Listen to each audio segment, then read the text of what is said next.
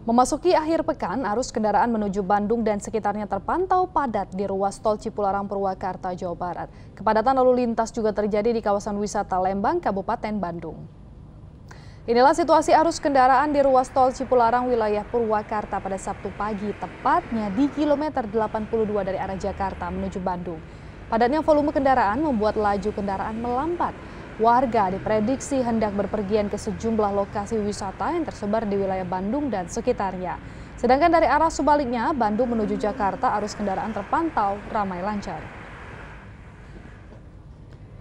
Benar saja saudara kepadatan arus lalu lintas terpantau juga ini di kawasan Lembang, Kabupaten Bandung yang merupakan destinasi wisata.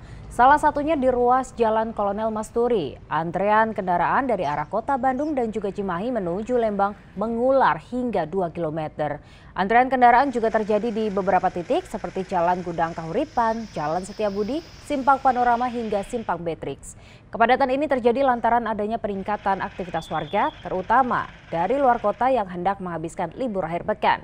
Demi menghindari kecelakaan, wisatawan diimbau berhati-hati dan memperhatikan kondisi kendaraan agar selalu prima.